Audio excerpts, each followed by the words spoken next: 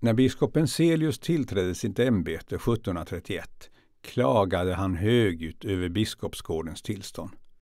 Den var obeboelig. Han fick stöd av landshövdingen och så finansierade stiftet denna vackra herrgårdsliknande byggnad.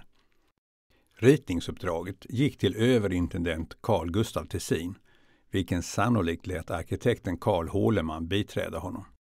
Ritningarna hittas på 1990-talet bland stiftets äldre handlingar i landsarkivet i Vadstena.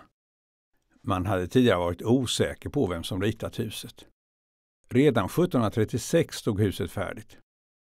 Biskopsgården har entrén vänd mot norr, mot trädgården, där en grusgång leder fram till grusplanen och Stora porten. Mot Ågatan är den södra fasaden försedd med stora höga fönster, men trots det sluten. Besökare får gå in på gården för att kunna besöka biskopen. Det var så man byggde hus i städerna långt in på 1800-talet. Ett plank mot gatan med en grind eller en port in till gården var det vanliga. Biskopsgården har genomgått flera renoveringar redan under 1700-talet. En vacker kupolliknande förhöjning av taket över salen i andra våningen gjorde man troligen runt 1780. Den något ovanliga, prickiga putsen verkar ha tillkommit samtidigt. Den har bytt färg flera gånger, senast på 1990-talet.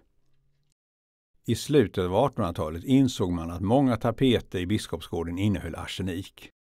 En omfattande renovering blev följden.